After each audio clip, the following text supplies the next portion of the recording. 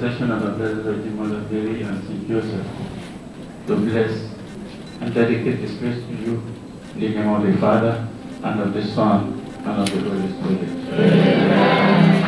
His Eminence Anthony Cardinal Olubunmi Okogie inaugurating the ultra-modern chancery amidst cheers from parishioners. The Archbishop of Benin Metropolitan See, His Grace Most Reverend Augustine Obiora Akubeze, led His Eminence Cardinal Okogie and a retinue of Catholic priests on a guided tour of the facilities at the chancery. Addressing journalists, His Grace Most Reverend Augustine Obiora Akubeze said the ultra-modern chancery will house the various departments of the Archdiocese of Benin with conference hall and an elevator for easy movement. Chancery is where business is done in the archdiocese.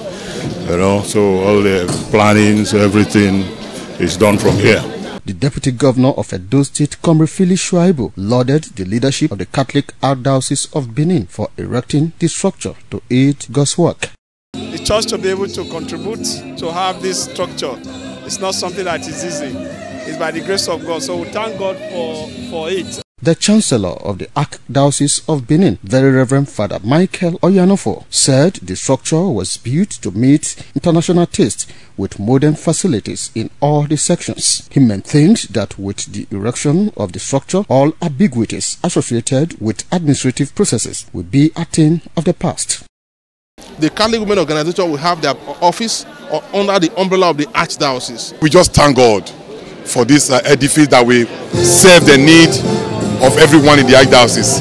I pray that God going to strengthen our Archbishop for further actualization of visions. This has added to uh, the numerous uh, venues for meetings, uh, for programs, for conferences in our.